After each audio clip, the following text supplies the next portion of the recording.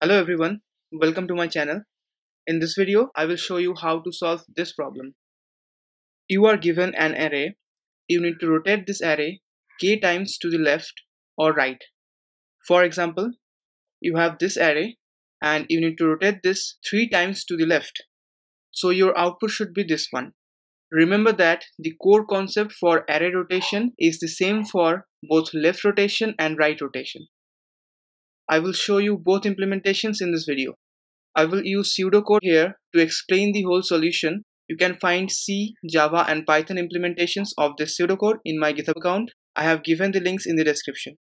Now we can solve this problem in four different ways. I have plans to cover all of these four algorithms, but that's not possible in one video.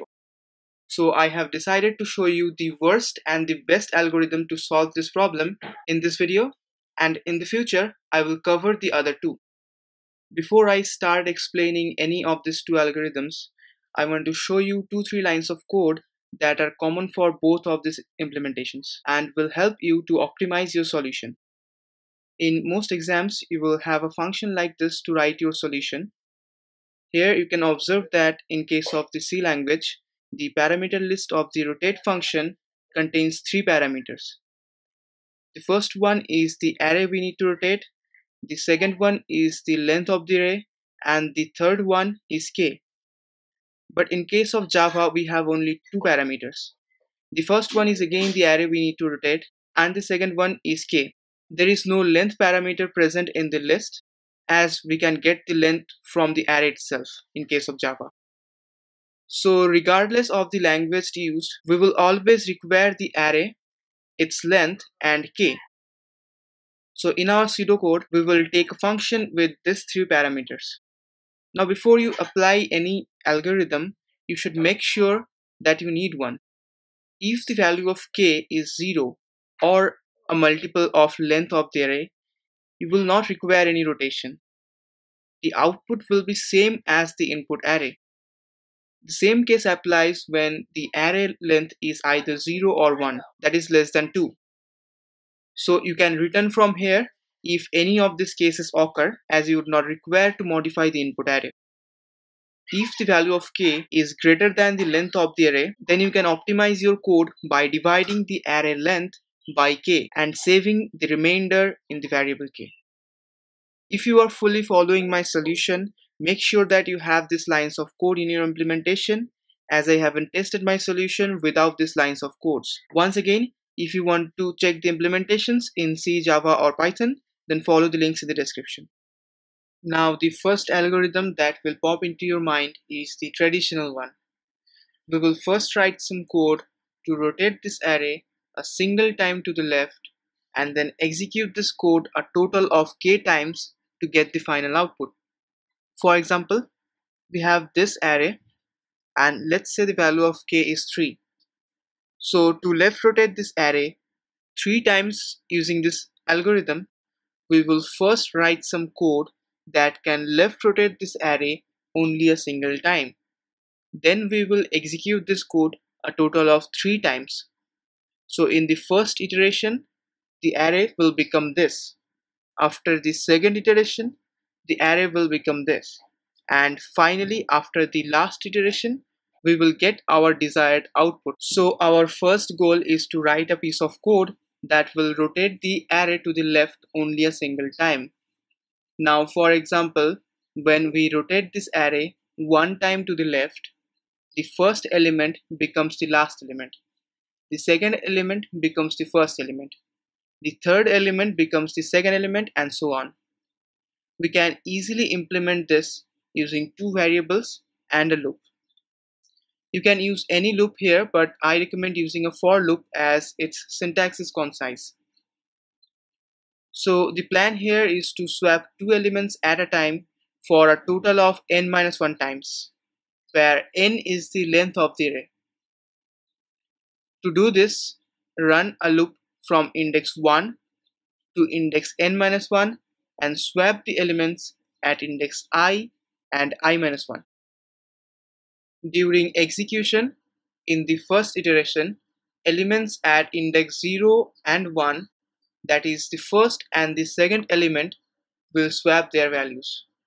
In the second iteration, the elements at index 1 and 2 will swap their values, and so on.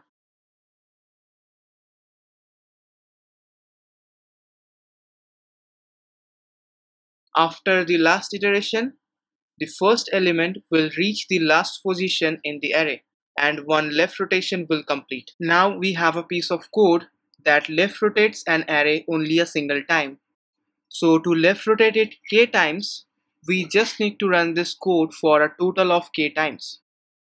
This can be easily done by putting this piece of code inside a new loop that runs k times. This algorithm is for left rotation. To do a right rotation, just change the direction of the inner loop. Instead of starting from 1, start from n-1 and end at 1. So now the inner loop rotates the array to the right for a single time and the outer loop right rotates the array k times. So in this way you can solve this problem but your code will take a lot of time to complete execution for higher values of both n and k. The inner loop always runs n times so the time complexity of the inner loop is O of n and we are running this O(n) operation for k times. So the overall time complexity of this code is O of nk which is pretty bad. In terms of space complexity, this program is excellent as it uses O1 extra space or you can say constant space. So we need an algorithm that can solve this problem using O1 extra space as well as time complexity less than O of nk. For this particular problem, you cannot find an algorithm that will take less than O(n) time as you have to move all the elements of the array at least once to rotate it and this will take O(n) time to complete. Now the best way to solve this problem in O(n) time is by reversing the array three times. No, we are not going to reverse the entire array three times. Instead, we will first reverse the first k elements of the array, then the last n minus k elements, and finally the entire array. All this reversing needs to be done separately. I will show you the time complexity calculation after completing this implementation. As we need the array reverse algorithm three times, let's make a separate function for that.